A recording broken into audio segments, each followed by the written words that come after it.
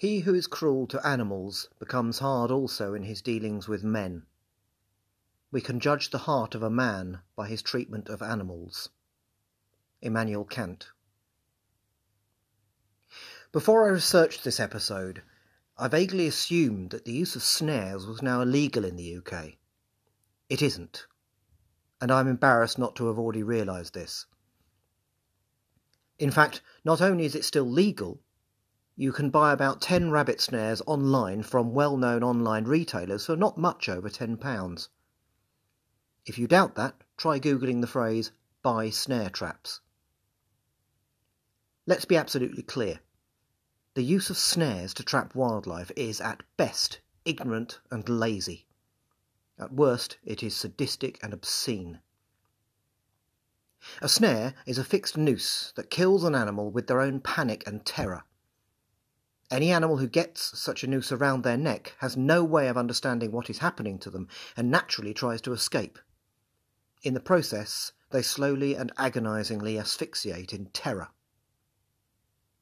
Excuses have been made that snares can just hold an animal until a person can arrive to humanely dispatch them. This is a lie. Even if they are still alive, they will still have gone through a horrendously painful and terrifying experience.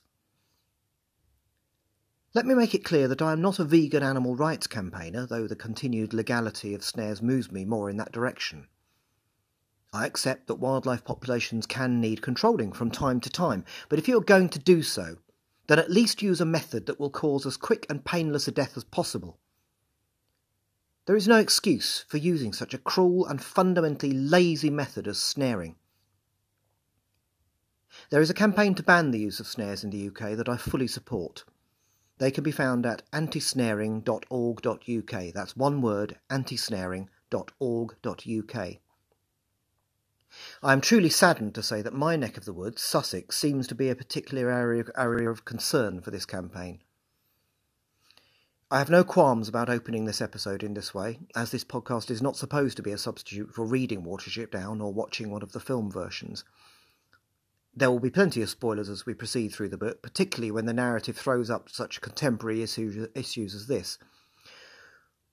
Watership Down may be set in a supernatural world where rabbits can talk, but that should never distract us from this world, where their suffering at our hands is no less real.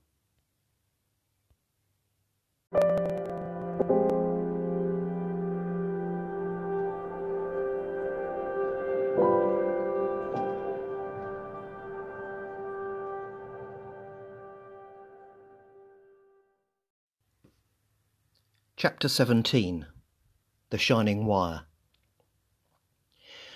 the opening quote is from W. H. Auden's The Witnesses.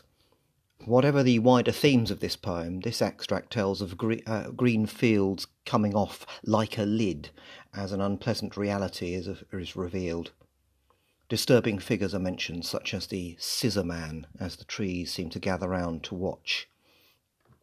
Would those trees by any chance be trees in November in this case? Hazel is dreaming again. He dreams of the roof being made of bones, then of yew tree twigs. Then Cowslip is urging him to carry red yew berries in his mouth to eat in the great burrow. Yew berries are poisonous. Fiver begs him not to. Bigwig joins in, his mouth full of the berries. Then they are outside in the cold, and the berries have become like red droppings. Bigwig's words at this point foreshadow the horrific events that unfold later in this chapter. As Hazel wakes, he realises Fiver has gone. He wakes Bigwig. They realise Fiver must have gone outside.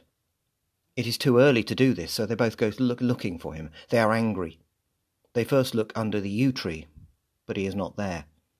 Bigwig can see the track he has made in the wet grass.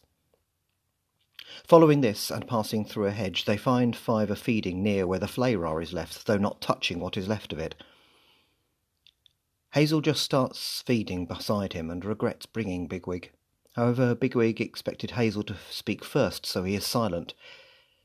They feed together quietly. Fiver suddenly announces that he is leaving for the hills. When Bigwig says he will die if he leaves on his own, Fiver responds that they are closer to death than he is. Bigwig starts to lose his temper, and Hazel has to calm him, saying he can see Fiver is genuinely scared of the place. He is going to go with Fiver a short way. He asks Bigwig to go back and tell the others what is happening. Bigwig turns on Fiver and unleashes his temper on him, telling him he is going to turn the others against him.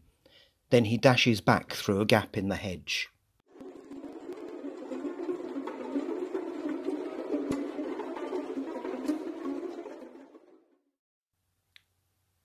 Instantly, there is the sound of something dreadful happening, as if something has caught Bigwig. Going through the hedge, they see that he is caught in a snare. The scene resembles the strange place they found the previous day outside one of the burrows, leaves thrown up, the earth scored bare by his claws. The copper wire of the snare is tight around Bigwig's neck and runs to a peg in the ground. His neck is bleeding. Bigwig struggles, then is still. His mouth is bleeding and froth has emerged from it. Hazel desperately, desperately asked Bigwig what they should do. He just manages to reply that it is useless to bite the wire. They need to dig the peg out. This scene, for all its horror, requires a large suspension of disbelief. Of necessity, this book is set in a world where even talking rabbits can be killed by a snare. So they have some understanding of how the snare works, unlike rabbits in real life. They know that the wire is too strong to bite through. They also know that digging out the peg can save the victim. The one thing they seemingly cannot realize is the one thing that makes a snare work. It does not even occur to them to move Bigwig closer to the peg, which would instantly remove the danger.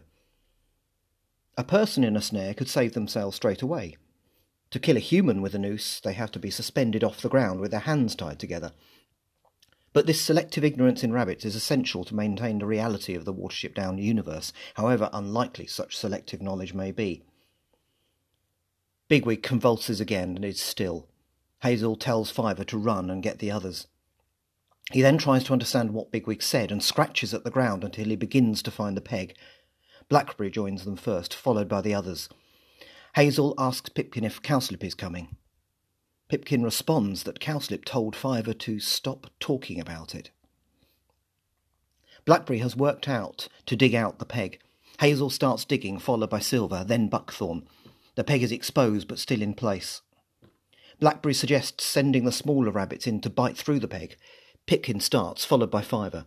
Despite cutting their noses on splinters, they split the peg. Bigwig lies still. He seems to be dead. He may have broken his own neck or pierced his windpipe. Hazel realizes he has to get them away quickly. The man could be on the way, and they need to try to not think about what has happened. He utters the famous line about his heart joining the thousand, quote, for my friend stopped running today, The exact meaning of this rabbit funeral service seems saying seems unclear, but it is, it is still a beautiful saying. Does it mean your heart has joined dear Lil, or another thousand. Hazel desperately appeals to Blackberry to help him. He cannot see Fiver, so distracts himself by telling Pipkin to clean himself up. He asks him to say more about what Cowslip said. The rabbits of the warren had ignored Fiver. Then, when he went up to Cowslip, he had struck Fiver, scratching him. Suddenly, Bigwig's voice rings out. He is alive and very angry. He looks terrible. His back legs are weak. Silver says they should drive the rabbits from the warren and take it for themselves. Several of the group agree. Fiver shouts out a shocking Lapine phrase in desperation, which basically means stinking God. This is Fiver at his most powerful. He lays out what has been happening and they listen in silence. The warren is snared every day. He offers them the story of this terrible place. It was once a fine warren, then it was hit by the white blindness or myxomatosis. A few rabbits survived. The local farmer realized he could farm these rabbits for their meat and pelts, so he shot any predators and started putting out food at some distance from the warren to make them get used to going to it. Then he started snaring them, just enough to make sure he had a good supply of rabbit without scaring them away. They became big and healthy, but also strange in their ways. They all knew what was happening, but dared not admit to it. Their strange ways became a way of distracting themselves from the reality of their situation. They had no chief because a chief could not protect them from the one danger they faced. Their poet spoke of dignity and tried to convince them that all rabbits should actually welcome death. There was one rule Never ask where anyone is unless in a poem or song. And any actual mention of the snares could provoke violence. Fiver continues with what happened when their group arrived. A decision was made to integrate them into the Warren and tell them nothing. Their story of El-ahrairah was not appreciated because it was a source of shame to these rabbits, especially as they were deceiving the storyteller. If they take over this warren, they will just be living in a place of death. Bigwig, still recovering, asks Fiver what they should do. Fiver replies that they should leave. Hazel adds that they should go to the hills. Suddenly, Speedwell spots a rabbit coming towards them from the warren, running headlong. They're concerned he may have their white blindness as he stumbles, but he wouldn't be able to run that fast. It is Strawberry. He begs them to take him with them. Silver suggests he go back to Nildro Hain. His reaction implies that she pos- is possibly no longer alive, or else his terror has overcome any feelings for her. Hazel feels sorry for him and agrees he can join them. They leave and a magpie finds a length of wire and a peg lying in the grass.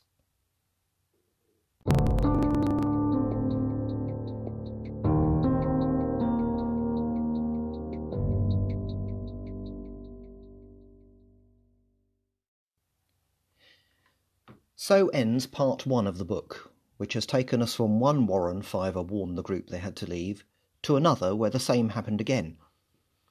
The Warren of the Snares, to give it its proper name, possibly confirms the supernatural nature of the world in which this book is set even more. It is as if the farmer who is snaring the rabbits has a malign influence over their minds that goes far beyond trying not to think about snares or ask where anyone is. The imagery of Hazel's dreams and Fiver's comments on this warren remind me a little of the influence of Cthulhu in H.P. Lovecraft's The Call of Cthulhu, where the rising power of a hidden evil is reflected in dreams and visions around the world. So now we have two models of what to avoid in running a warren. One too authoritarian, though that was not the actual main reason for leaving, and one where rabbits have given up on survival for the sake of short term pleasure. The challenges our travellers have faced so far have severely tested their cohesion as a group, but they have come through these united, mainly due to the influence of Hazel and Fiver, with the near death of Bigwig the final shock that ensures their unity. They have lost no one. In fact, their group has grown by one. They are heading at last for the hills to the south, one of which is called, it may not surprise you to learn, Watership Down. I'm